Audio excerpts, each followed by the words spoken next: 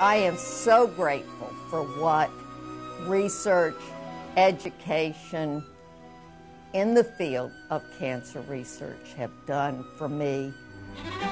Dr. Sausville, a national leader in cancer research, directs the development of new drugs.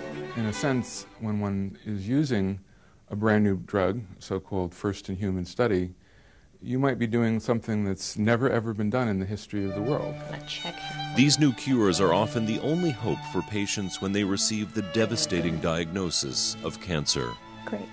Targeted agents, for the most part, are designed to, to uh, address or combine or modify a particular molecule which we conceive ahead of time is important in a disease pathologic process. My initial diagnosis came on a Friday afternoon at 4 o'clock, and a radiologist put a film up and said, You have breast cancer.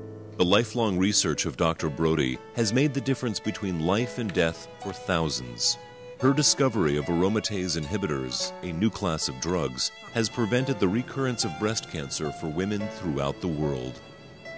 We feel, you know, it's really been wonderful that we've been able to develop some compounds now that uh, will really be beneficial to um, treating breast cancer.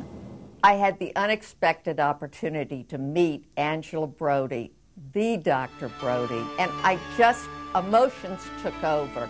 And I had to say, Dr. Brodie, may I please give you a hug for myself and all the women that you have helped.